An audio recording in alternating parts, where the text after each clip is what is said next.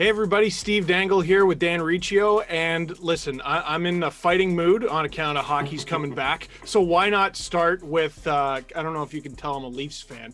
And it's for a reason. They got the best team in Canada and they're going to win the North Division. Dan, prove me wrong. Well, this is uh, pretty easy to prove you wrong on this one. I mean, it, from everything I can see, around the country and around hockey, everybody's just like penciling in the Leafs. Oh, yeah, we've got the North Division champion right here, the Maple Leafs, Auston Matthews and Mitch Marner. Oh, and they added a future Hall of Famer in Joe Thornton, who's got no stress. Well, as the Columbus series probably showed us all, Steve, these games aren't played on paper. And when the Leafs need to get the job done, they seem to fall short. And that's kind of a trend that's uh, lasted longer than Auston Matthews and Mitch Marner have been in the league. Well, yes, and uh, many of my friends have uh, done a good job of pointing out that the last time the Leafs won a playoff series was literally half my life ago. Uh, I was 16 years old. Um, and listen, noted. But let's stop living in the past. Like you said, Auston Matthews, uh, uh, an elite goal scorer in this league, top five.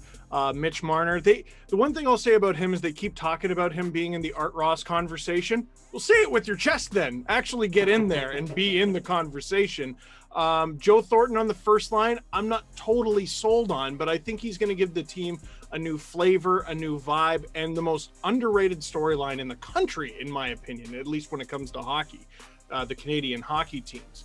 Morgan Rielly is playing with the best defensive partner he's played with in his entire career in TJ Brodie. You can't tell me that's not going to have a massive impact on this team that has struggled mightily to defend a lead over the last uh, forever.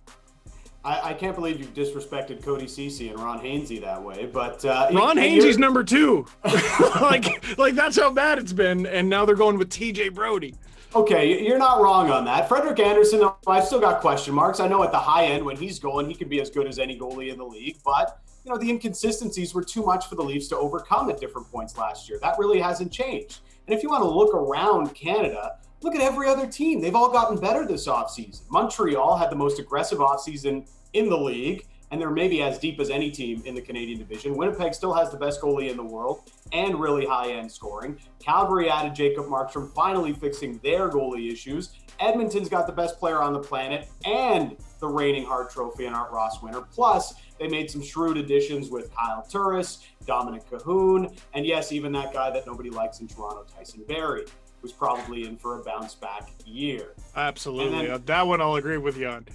And then we can't forget about the team that actually was the best in Canada last year, and that's the Vancouver Canucks, who have the best defenseman in the division in Quinn Hughes. They also have Elias Pettersson, who is primed to enter the super duper star territory of Auston Matthews and Connor McDavid. He is that damn good.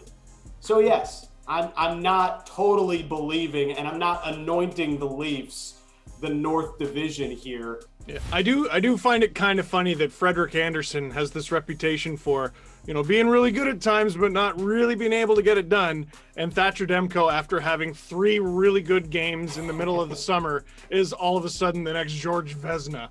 I mean, I, I the guy well, allowed a, a highlight reel trophy winning goalie here, Steve, and Braden Holtby. You can't forget that. No, you absolutely cannot forget that. And I can't be like, well, he's over the hill when the Leafs have added Wayne Simmonds and, and Joe Thornton and even uh, reigning Stanley Cup jam, uh, champion Zach Bogosian. Really, oh, that's who we wanted to steal from the Lightning all along. Was was was Zach Bogosian. Well, finally, the Leafs have uh, looked in at saying, uh, okay, maybe we do need a few intangibles. Just because they lost a series to Columbus where their shooting percentage was below 2%. So may- maybe a bit of an overreaction there, if you're asking me. I think I think that was something that was uh, long time coming because I don't know if you guys know this. The Leafs lost to uh, an, an, emergency backup goaltender. I don't know. A lot of people it was really not covered much by the national media, but uh, that was underratedly the last game before the trade deadline for the Leafs. So I don't I don't think the overreaction was to Columbus. I think the over well the reaction the perfectly understandable reaction was to, oh my God, they can only muster seven shots against uh, an emergency backup. So uh, I think they're a good team. They're the best in the North Division. They do struggle at times, and I think they've addressed this issue that has now. I, I can't believe that game was still less than a year ago, but they have finally addressed uh, that issue, and they should be the best team in the division for it. I will take the field over the Leafs. Thank you very much. All right, Steve Dangle, the right one. Dan Riccio, the other guy.